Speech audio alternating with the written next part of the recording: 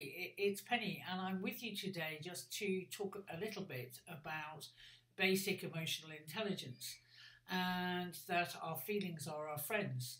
You know, we have a tendency to think that feelings are inconvenient and we'd rather not feel them.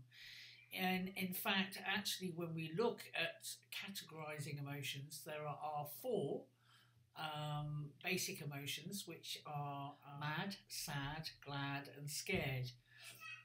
And these emotions are basically energy in motion. And if we allow ourselves to feel them, we can move through them. Uh, mad is anything from being apathetic, uh, impatient, displeased, indignant, bored, peeved, irritated, uh, incensed, angry, furious, or enraged. And the interesting thing with uh, a mad emotion is it can be red hot, passionate anger, or it can be icy cold blue rage. And you know, so I that's one of the things I always ask people is, you know, what color is it? And if it's blue, it's icy cold blue rage. If it's red, then it's red hot rage.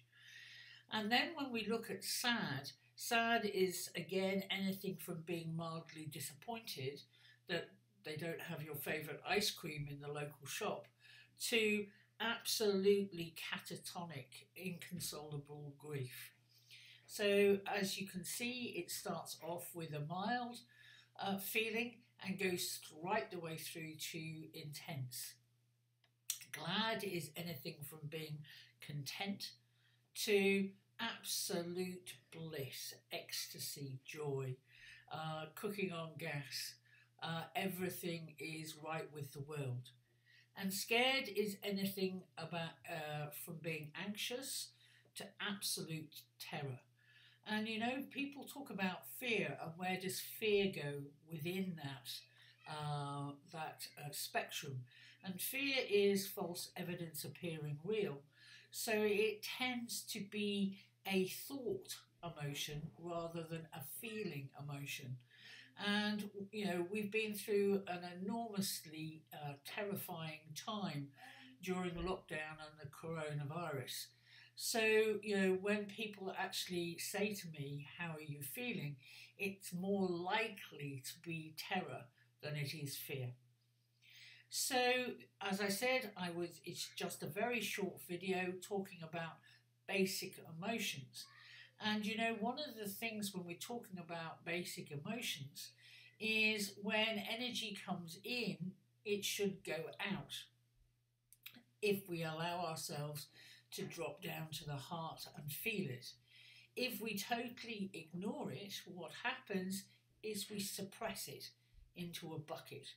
And those buckets of emotions begin to fill up. And once they fill up, we actually get to the stage where we start acting out emotions because there is no longer room to suppress it into our subconscious.